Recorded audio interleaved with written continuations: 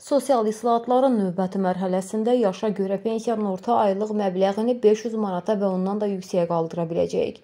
Bunu Əmək və Əhalinin Sosial Müdafiəsi Nazirinin müavini Anar Kərimov mətbuat konfransında bildirib. Kərimovun sözlərinə görə, hazırda yaşa görə pensiyanın orta aylıq məbləği 465 manatdır. Nazir müavini xatırladıb ki, Prezident Əliyevin tapşırıqları əsasında son 5 ildə 4 sosial islahat paketi icra olunub. Həmin 4 sosial islahat paketi üzrə əlavə olaraq ayrılan illik vəsait 6,8 milyard manata çatıb deyə qurum rəsmisi qeyd edib.